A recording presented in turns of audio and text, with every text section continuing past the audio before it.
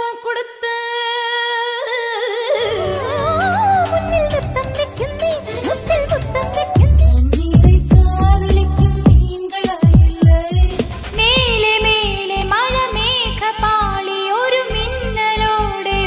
ഇന്ന് കാലയവനികയിൽ മറഞ്ഞ അനശ്വര ഗായിക സംഗീത സജിത്തിന് ആദരാഞ്ജലികളും സ്നേഹവും അർപ്പിച്ചുകൊണ്ട് ഇതാ ഒരു വീഡിയോ ട്രിബ്യൂട്ട്.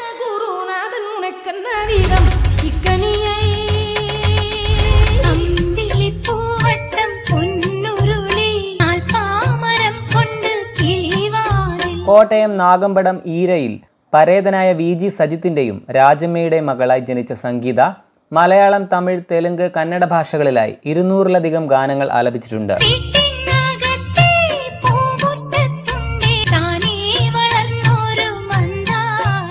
രണ്ടാം ക്ലാസ് മുതൽ സംഗീതം അഭ്യസിച്ചു തുടങ്ങിയ സംഗീത കലാക്ഷേത്രം മാത്യൂസ് മാതങ്കി സത്യമൂർത്തി എന്നിവരുടെ ശിഷ്യയായിരുന്നു. കൂടാതെ ഡോക്ടർ ബാലമുരളീകൃഷ്ണയുടെയും കീഴിൽ സംഗീതം അഭ്യസിച്ചു. ദളപതി വിജയ് ആദ്യമായി നായകനായി അഭിനയിച്ച നാളയെ തീർപ്പ് എന്ന തമിഴ് ചിത്രത്തിലാണ് സംഗീതയും ആദ്യമായി ഗാനം ആലപിച്ചത്. കെ ബി സുന്ദരാമ്പാൾ അനശ്വരമാക്കിയ ജ്ഞാനപ്പഴത്തെ പിഴുന്ത് ആയിരുന്നു ആ ഗാനം.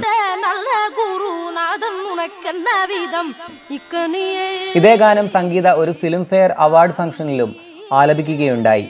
ചടങ്ങിൽ സന്നിഹിതയായിരുന്ന അന്നത്തെ തമിഴ്നാട് മുഖ്യമന്ത്രി ജയലളിത വേദിയിലെത്തി കഴുത്തിലുണ്ടായിരുന്ന പത്ത് പവന്റെ സ്വർണമാല സംഗീതയ്ക്ക് ഊരി സമ്മാനിച്ചു അതേ സദസ്സിലുണ്ടായിരുന്ന എ ആർ റഹ്മാൻ തന്റെ അടുത്ത ചിത്രത്തിൽ സംഗീതയ്ക്ക് ഒരു ഗാനവും നൽകി കാതലിക്കും മീൻകളായില്ലേ മിസ്റ്റർ റോമിയോ എന്ന ചിത്രത്തിലെ തണ്ണീരെ കാതലിക്കും എന്ന ആ ഗാനം വലിയ ഹിറ്റായി മാറി കാതലിക്കും പെൺകളായില്ലേ அப்போ சார் வந்து இந்த ப்ரோக்ராமில் பார்த்ததும் உடனே வந்து அஹ், மிஸ்டர் ரோமியோன்ற படத்தில் எனக்கு பாடுறதுக்காக ஒரு சான்ஸ் கொடுத்தாங்க தண்ணீரை காதலிக்கும் மீன்களா இல்லை என்ற சாங் അതിൽ മറപ്പത് പൊയ്യയോ കാതലിക്കും കള്ളൻ പേരോ തണ്ണീരെ കാതലിക്കും മീൻകൾ തുടർന്ന് ജീൻസ് എന്ന ചിത്രത്തിലും എ ആർ റഹ്മാൻ ജ്ഞാനപ്പഴത്തെ എന്ന അതേ ഗാനം സംഗീതയെ കൊണ്ട് വീണ്ടും പാടിപ്പിച്ചു വാറായോ തോഴി എന്ന പാട്ടിൽ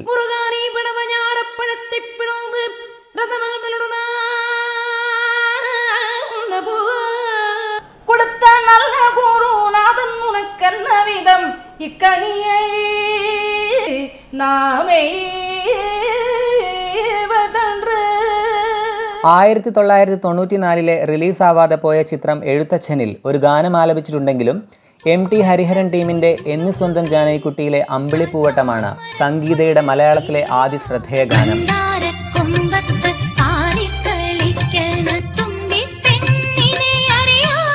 കാക്കക്കുയിൽ ഇൻഡിപെൻഡൻസ് രാക്കിളിപ്പാട്ട് പഴശ്ശിരാജ മാമാങ്കം മാർക്കോണി മത്തായി പട്ടാഭിരാമൻ അയ്യപ്പനും കോശിയും കുരുതി എന്നിങ്ങനെ നിരവധി ചിത്രങ്ങളിൽ സംഗീത ഗാനങ്ങൾ ആലപിച്ചു.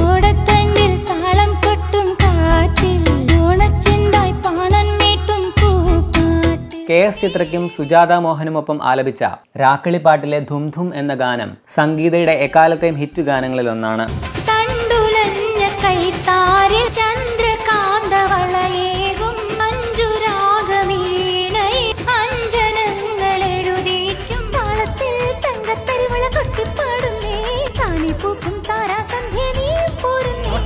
ഓട്ടത്തിനരിവരി മണവാളൻ വരുന്നുണ്ടേരത്തെ എന്തൊക്കെയോ ഒരുക്കിയെന്നറിഞ്ഞോടിയും മനങ്ങി നിന്നീടന്റെ ശോശനെ രാമസൂരരേഹിക്കും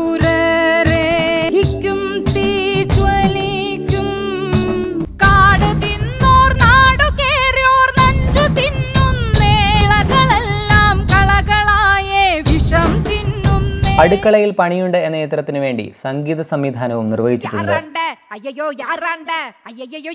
ബിഗിൽ എന്ന ചിത്രത്തിൽ വെറുതനം എന്ന ഗാനം വിജയോടൊപ്പം ആലപിച്ചതും സംഗീതയാണ്.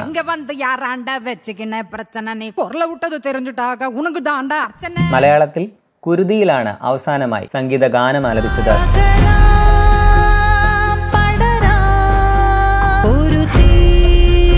ചെന്നൈയിൽ സ്ഥിരതാമസമാക്കിയിരുന്ന സംഗീതയുടെ ഏക മകളാണ് അപർണ. വൃക്ക രോഗത്തെ തുടർന്ന് ചികിത്സയിലിരിക്കെ രണ്ടായിരത്തി ഇരുപത്തിരണ്ട് മെയ് ഇരുപത്തിയൊന്നിന് തിരുവനന്തപുരത്ത് വെച്ചായിരുന്നു അന്ത്യം.